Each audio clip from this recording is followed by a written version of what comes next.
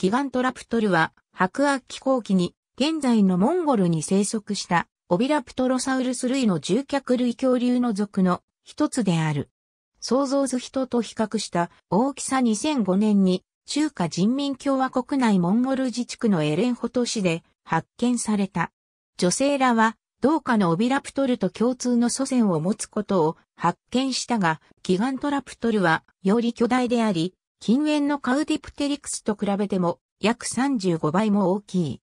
体長は8メートル、体重は2.2トンに達し、それまで知られていたオビラプトロサウルス類で最大であったキチパチの3倍近く大きい。ギガントラプトルの骨格はオビラプトロサウルス類の特徴を備えている。しかし、派生的なマニラプトル類の特徴も多く持っている。骨格には羽毛が生えていた直接の証拠は残っていないが、ヤオラはギガントラプトルには羽毛が生えていたと推測している。彼らはギガント、また彼らはギガントラプトルはそれらの種よりも300倍も大きく、大きい動物は体温調整を体重に依存し、小さな動物のように体を保温する必要はないとも記している。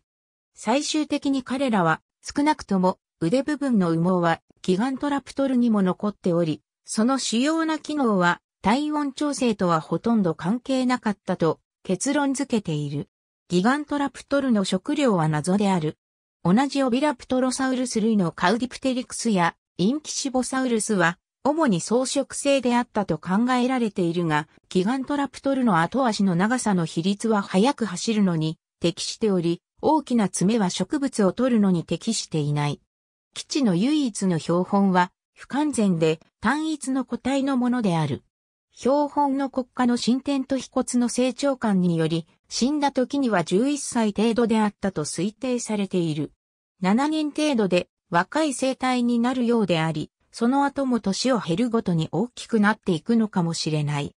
この成長速度はその他の獣脚類の多くよりも速い。タイプ標本の発掘の様子がフィルムに収められている。女性が日本のドキュメンタリーで発掘の様子を再現した。骨をクリーニングすると、彼はこれは竜脚類ではなく、アルバートサウルス程度の大きさの獣脚類であることに気づいた。その後彼は予期しない発見があった場合の安全を考えフィルムの撮影をした。ありがとうございます。